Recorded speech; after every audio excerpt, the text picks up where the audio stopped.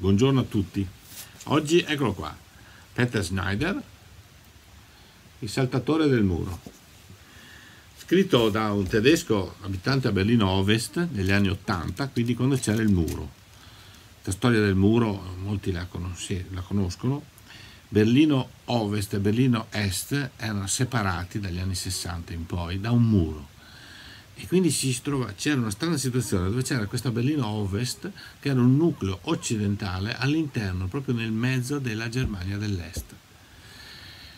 Repubblica Democratica Tedesca si, chiama, si chiamava la Germania dell'Est. E quindi come si poteva questi cittadini occidentali entrare e uscire dal muro? Per andare, che ne so, in Germania, in Francia, tornare in Germania, o in aereo o attraverso tre corridoi autostradali dai, fuori dai quali non si poteva uscire. I cittadini dell'Ovest potevano andare a est con il passaporto, col visto, eccetera. Quelli dell'est con moltissima difficoltà, anzi era quasi impossibile ai cittadini dell'est andare a ovest. Questa è una situazione che ha creato dal punto di vista psicologico, ma non soltanto per i berlinesi, per tutta l'Europa, qualcosa di molto strano. Famiglie separate quando è stato costruito il muro. È una situazione veramente eh, vorrei dire tragicomica se, non, se il comico non fosse eccessivo. E questo libro parla di questa persona dell'Ovest che va spesso a est, ha degli amici sia a est che a ovest. I due amici principali sono uno scrittore della Germania dell'Est che vive a Berlino Est e invece un ex abitante di Berlino Est che è riuscito ad andare a ovest.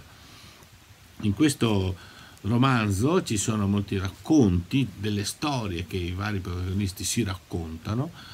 Una di queste riguarda il saltatore del muro, cioè un tizio che andava di là saltando il muro, e anche un altro dei ragazzi che facevano il contrario, da est andavano a ovest, saltando il muro, approfittando di certi buchi nel controllo, peraltro strettissimo, eh, che veniva fatto eh, vicino al muro, che non era solo un muro, ma aveva anche uno spazio eh, che bisognava attraversare per poter poi eh, saltare dall'altra parte del muro. Ecco, questo libro quindi è molto bello perché entra nella psicologia di questi abitanti della Berlino Est e Ovest che vivono in situazione assolutamente strana, diversa da quella di qualsiasi altro eh, abitante di una nazione che è compatta, che non ha eh, città di altre nazioni, peraltro con sistemi eh, politici, economici completamente diversi. No? E quindi si raccontano queste storie. Ci sono alcune cose che fatica facciamo noi a, a, a capire, a comprendere.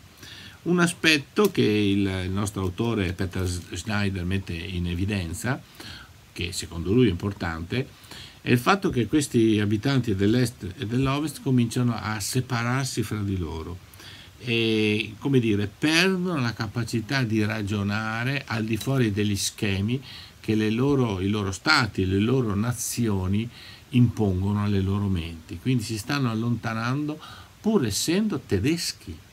Prima, eh, quando uno dice di cosa sei, sei tedesco, eh, ma cosa vuol dire tedesco? Tedesco dell'est o tedesco dell'ovest? Ricordo che è stata separata la Germania dopo la guerra come risultato diciamo, degli accordi eh, dopo la guerra. Quindi è tutta una situazione molto molto molto complessa.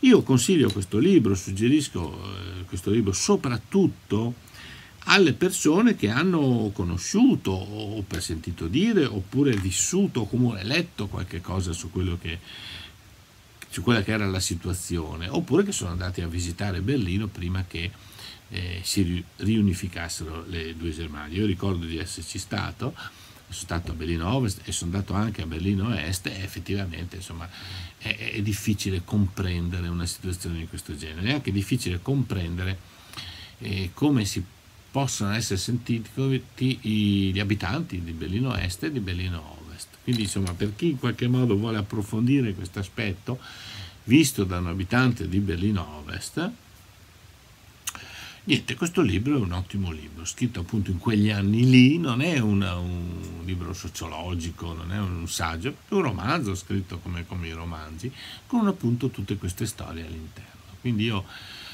mi auguro che possa piacere e non mi resta che augurarvi buona lettura.